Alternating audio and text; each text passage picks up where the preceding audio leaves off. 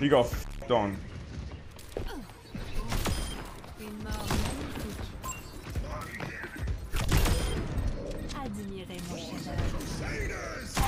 That's fucking right, dude.